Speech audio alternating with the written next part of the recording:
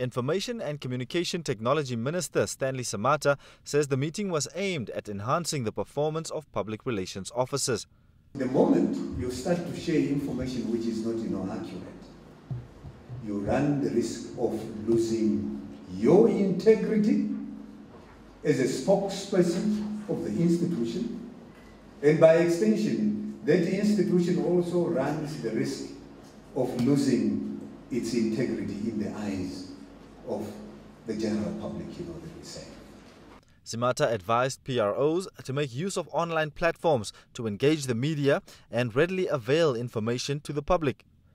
A similar workshop was held at Otjiwarongo, where the Permanent Secretary in the Information and Communication Technology Ministry urged PROs to respond to media reports and queries within 24 hours.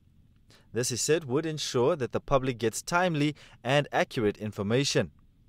Ua-Ndjarakana urged government ministries to allow its public relations officers to sit in management meetings to get first hand company information. This would enable them to disseminate factual information. All OMAs should ensure that PROs have immediate and full access to political office bearers and senior managers to be able to obtain comments on factual information to enable them to react to media reports with the assistance of the Division Media Liaison Services in the Ministry of ICT. PROs should also have been should have an opportunity to attend management meetings to allow them to have first-hand information on developments in the institution they are serving.